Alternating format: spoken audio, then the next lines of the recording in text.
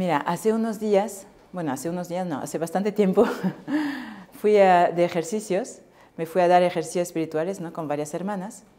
Y antes de ir a la casa donde íbamos, eh, pues como conducía el coche, la, furgoneta que nos habían prestado, pues una hermana me dice, bueno, yo la furgoneta la llevé, la llevé al taller y está todo bien, han revisado todo, la rueda, el aceite, el agua, no sé qué, así que no te preocupes, no le va a pasar nada.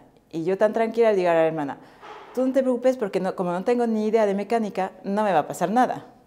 Y nada, vamos a los ejercicios, damos los ejercicios varios días y a la vuelta eh, me subo en la misma furgoneta. Eh, estábamos varias hermanas en, en, esa furgoneta y un chico que insistió en venir con nosotras. Digo, bueno, pues muy bien, un chico que, que, que había hecho los ejercicios. ¿no? Y vamos en la furgoneta, yo estaba conduciendo y de repente estaba en las 6 adelantando en el, en el carril más eh, a la izquierda y de repente sale humo del capó. gracias a Dios, en ese momento no había nadie atrás a la derecha, pude enseguida em, aparcar a la derecha, apagar todo y la sensación era, es que el coche va a explotar. Y bueno, ¿y ahora qué hacemos? yo, a mí nunca he tenido ni accidente ni problemas de coche en mi vida de conductora, ¿no? Entonces digo, bueno, ¿ahora qué se hace? una de las hermanas que estaba conmigo dijo, ah, pues a mí me pasó hace poco, tuvimos un problema de coche, hay que llamar a la grúa. Ah, vale, ¿y dónde está el número de la grúa? Y la hermana pues ya sabía dónde estaba el número de la grúa, no sé qué. Bueno, bien. Ahora, hay que poner los chalecos. ¿Dónde, como el coche no era nuestro, ¿dónde están los chalecos? No encontramos los chalecos, no sé qué. El triángulo, primero el triángulo. Ah, el triángulo suele estar ahí. Bueno, el triángulo, encontramos el triángulo.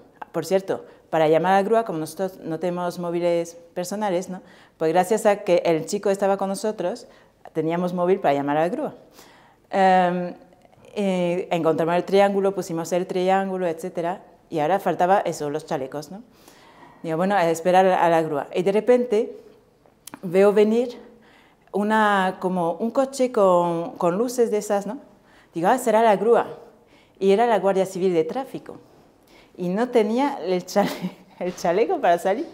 Y por favor, el chaleco, el chaleco. Y en ese momento hace la hermana, clink, coge el chaleco, se da cuenta que el chaleco está delante de ella en, una, en un estuche, lo coge, me lo da y ya puedo salir y tal. ¿Por qué te cuento todo, eso? Al final todo bien, vino la grúa, mi primer viaje en grúa. y, digo, ¿por qué te cuento todo eso? Simplemente para, uno, para saber que a veces el Señor te quiere enseñar. Pues si me, quería dar una mini lección de mecánica, bueno, no era de mecánica, pero en fin, de qué hacer en caso de, de problemas en carretera, pues me la dio, pero con todos los acompañantes que necesitaba para, para saber hacerlo, ¿no? Y también saber que el Señor tiene su tiempo para ayudarte. ¿no? El, ejemplo del chaleco a mí me impresionó mucho porque fíjate, el chaleco, el chaleco, y el segundo antes de que se parara la Guardia Civil encontramos el chaleco. Entonces tenemos que saber esperar los momentos de la actuación de Dios. A veces nos, nos adelantamos y fastidiamos la cosa. O sea, no digo que no busques el chaleco en ese caso, pero sí hay que saber esperar, que el Señor lo va a dar, pero espera el tiempo del Señor. Suscríbete a nuestro canal y recibirás en tu móvil, ordenador o tablet un aviso cada vez que publiquemos un vídeo. Así no te perderás ninguno y no tendrás que preocuparte en buscarlo. Haz clic en el logotipo de Gospa Arts y suscríbete.